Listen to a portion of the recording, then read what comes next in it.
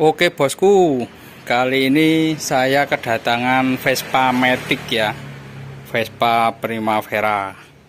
Nah ini uh, keluarnya seperti ini bosku. Nah, oke, saya hidupkan.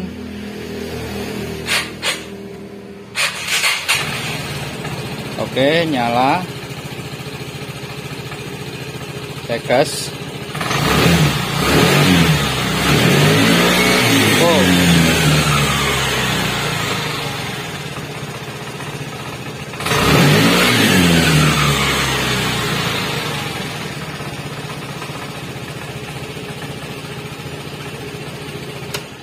Oke, jadi seperti itu ya. E, tadinya itu diperbaiki sama beliau di bagian aki, ya kan? Akinya ada di sini ini akinya ya. Nah kasih gini. Biar gak ngecres mungkin ya. Nah ini ya. Akinya itu yang bagian groundnya. Ini eh, apa namanya? Korosi bosku. Terus patah ya di bagian ini. Bagian groundnya. Sekunnya patah. Terus diganti sama beliau ini. Loh bosku ya. Kendor ya bosku. Loh ya coplot ini. Jadi uh, kurang sip ini. Nah.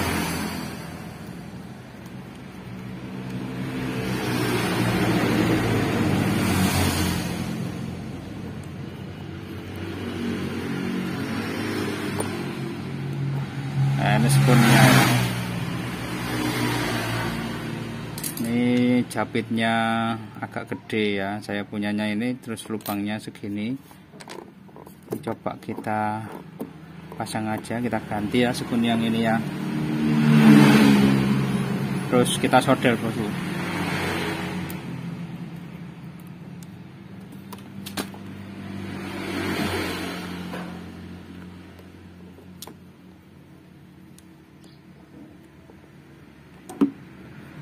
walaupun ternyata jepitnya itu enggak enggak bisa plug bosku ya. Nah ini kita bantu dengan solder aja bosku dikasih alas itu biar dia enggak jatuh ke akinya ya. Ini kasih cairan dulu. Biar nempel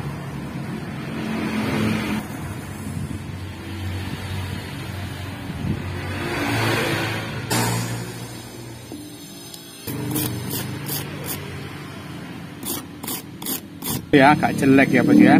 Susah bosku nempelnya karena e, serabutnya itu banyak pengapurannya bosku ya. Jadi kurang bersih ini. Nggak apa-apa yang penting itu sudah rapet ya tuh rapet ya. Oke. Nah sekarang kita coba. Oke kita pakai 8T jangan terlalu kenceng banget. Nanti bisa patah itu ya. Oke sekarang kita coba bosku Bismillahirrahmanirrahim. Oke.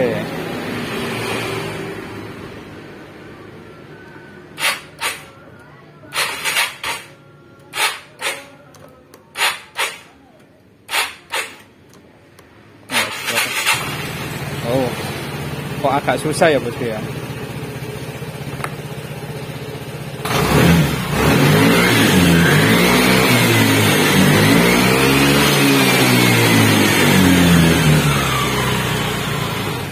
Aman bosku. Sip ya. Sembuh bosku.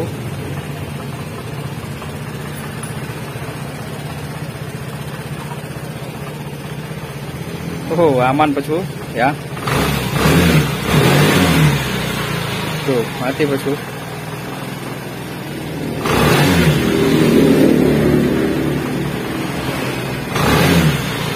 Mati lagi bosku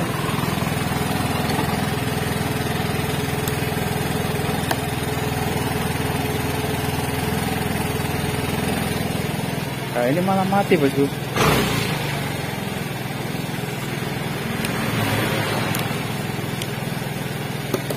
Tuh, mati bosku.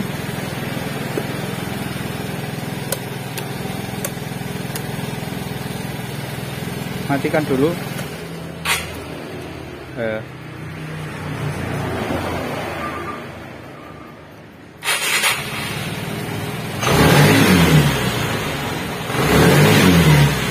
Tuh mati bosku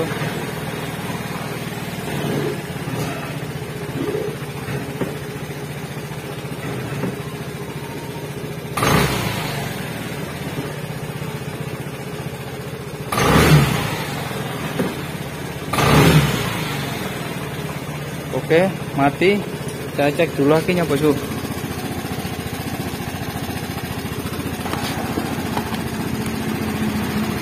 Taruh di 20 volt.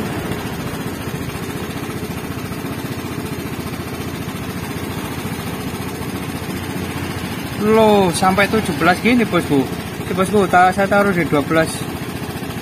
Wah, ini over voltage ini, Bosku overcharging ini ya kalau sudah 17 gini dua bosku sampai 18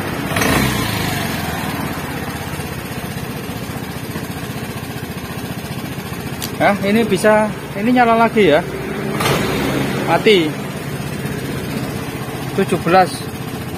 Voltasenya 17 lebih.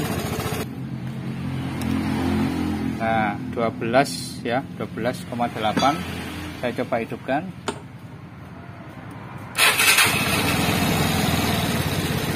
tiga belas sembilan empat belas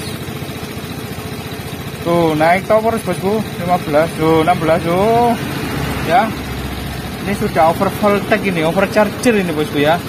Tuh sampai 17 lebih. Oke bosku. Letaknya itu di sini bosku. Jadi regulatornya kiproknya itu ada di sini.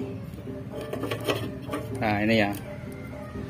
Jadi harus melepas cover saku ya sama ini yang ada lambangnya ini loh ya yang di depan. Bautnya itu ada di depan bosku. Nah ini bosku kiproknya berarti ini tiga pas bosku ya. Ini tiga pas ya. Tiga pas. Ini kalau dilihat itu mirip sama punyanya Yamaha Vision bosku ya di ini positif bosku. Kiproknya karena voltasenya itu terlalu gede. Jadi ngisinya terlalu gede itu nggak boleh bosku. Nanti kalau dibiarkan bosku ya uh, itu rusak bosku. Komponen yang menerima itu bosku ya.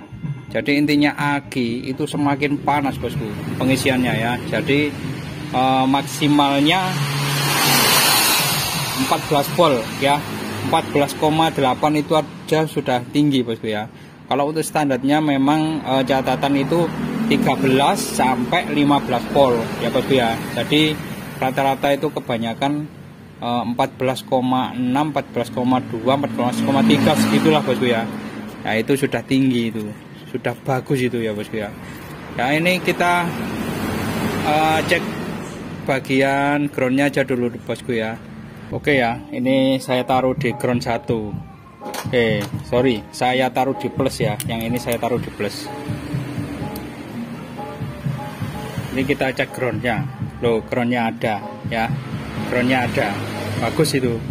Terus yang satu lagi Saya taruh di ground. Ini kita lihat plusnya. Loh, sudah benar bosku ya. Sudah benar ya.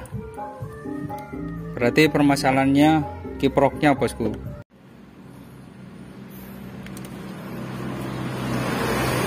Nah ini Ini saya belikan baru ya. Punya Yamaha Vixen Vixen yang all Yang lama yang kecil. Original. Ini nggak bisa balik ini. Jadi kata toko di sini itu kalau sudah dibeli kalau ada apa-apa ini tanggung jawab konsumen ya repot kalau gini, gini bosku. Karena kita beli itu kayak uh, lotre bosku ya. Jadi bejo beji. Intinya itu untung-untungan. Kalau bagus apa kondisinya atau intinya itu baik ya kondisi barangnya ya wis. Alhamdulillah kalau nggak baik ya wis kita rugi bosku ya itu nggak tahu kenapa kayak gitu ya. Memang original rata-rata kayak gitu.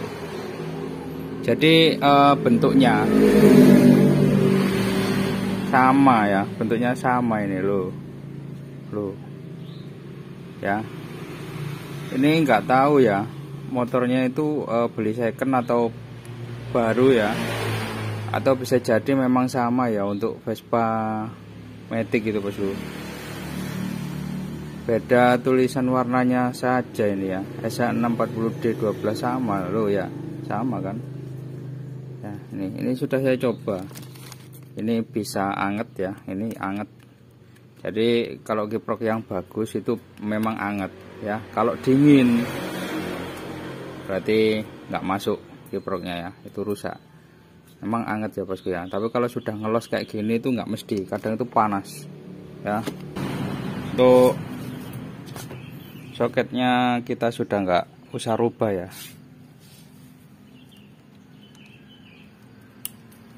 Nah, langsung plug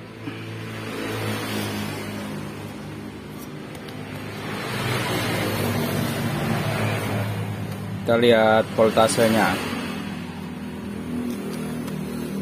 Di 20 volt oke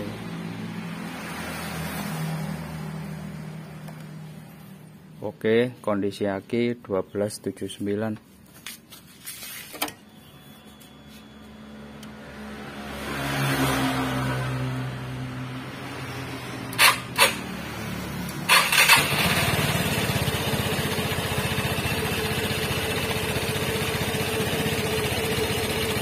Karena tadi sudah tak coba bosku, jadi langsung ke 14. Kalau masih dingin biasanya itu melambat ya naiknya. Ini sudah cepat ini. Nah sudah 14 lebih.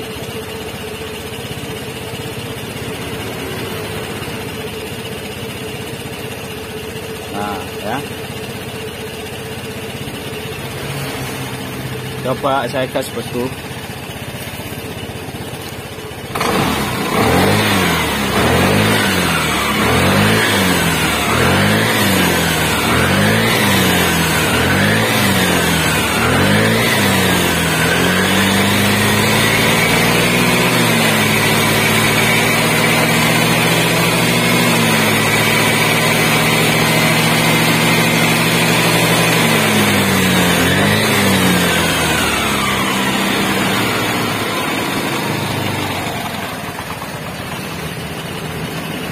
Oke si paman ya. Tetap di 14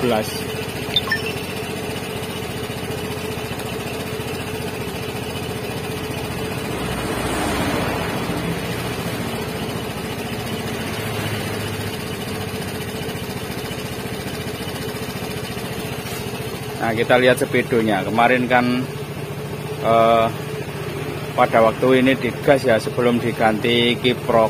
Masih kiprok bawaan ini itu mati.